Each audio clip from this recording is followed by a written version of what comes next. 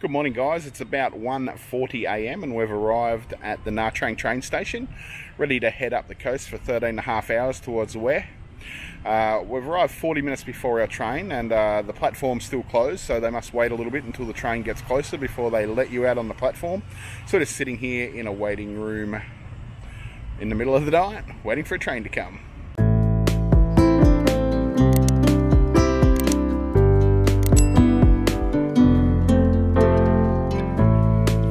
Okay, so they just called our train here in our train. We've uh, crossed the lines and now we're waiting on platform three for our train to come. Happy, Becky? Very happy. Happy, Marley? I want to sleep. Willow, happy? No, not at all. Why are we working out? Willow needs some sleep.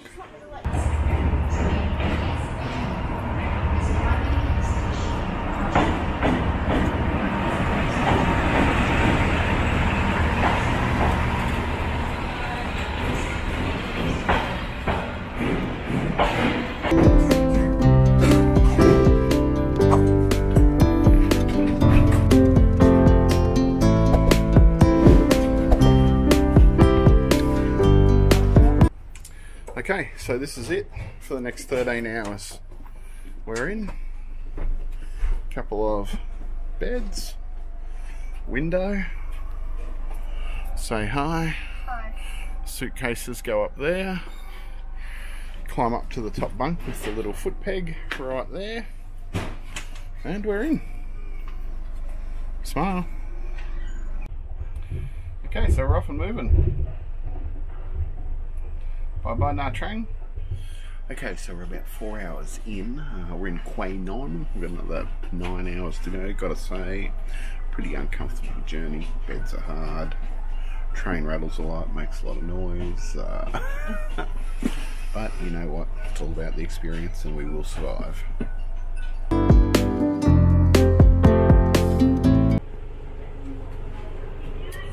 Me and Rebecca were just talking about it, and what what you hear a lot is, or what you don't actually hear, you hear people who say, "Oh, I get on the train and I go to sleep and I wake up," but what they don't actually tell you is how rough and bumpy the trip actually is. You know, it's just banging along continuously, everything's shaking, everything's rattling the whole way along. Um, it's really not that comfortable. It's great for an experience, but look, you know, four hours in, I could be feeling a bit grumpy, but uh, I'm saying I probably certainly wouldn't do it again.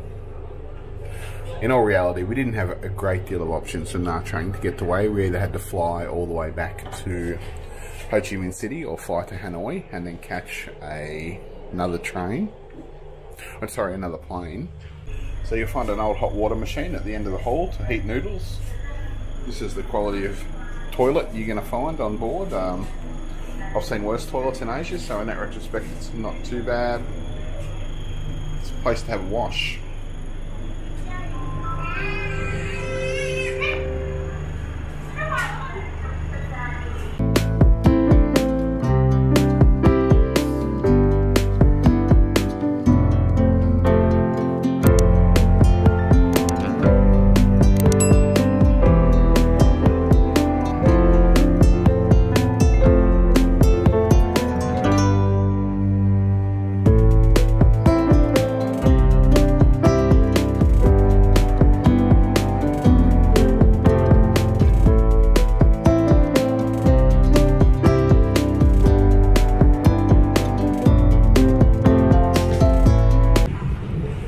In the cold light of day, this is what a room actually looks like.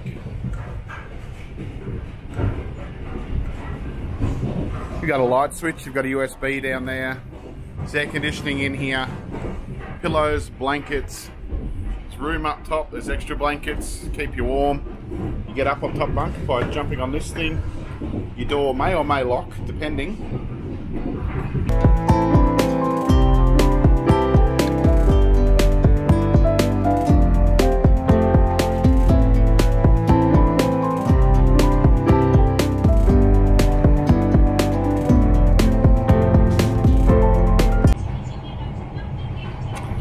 Okay, so this is the state of affairs in cabin number 27, 28, 29, 25. Good morning. Guten Morgen. Good morning. Into the journey.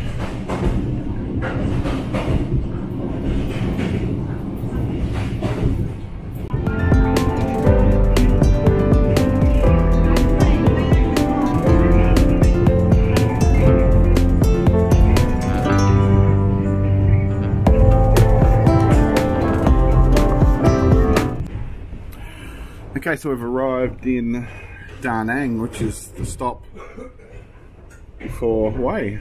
So, not quite sure how it's another four hours to get there, but we'll see what happens, I think.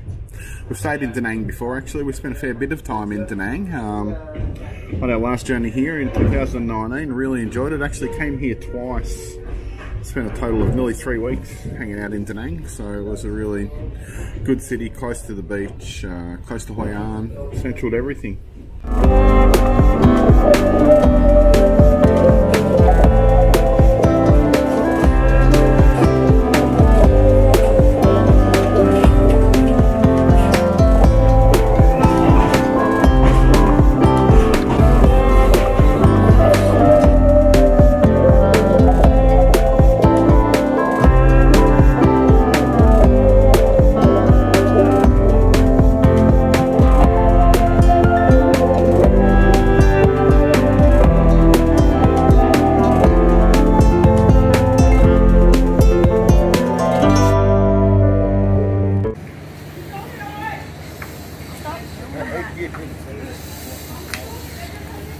Okay, Wild, so we made it. They made it. We made it. Woohoo!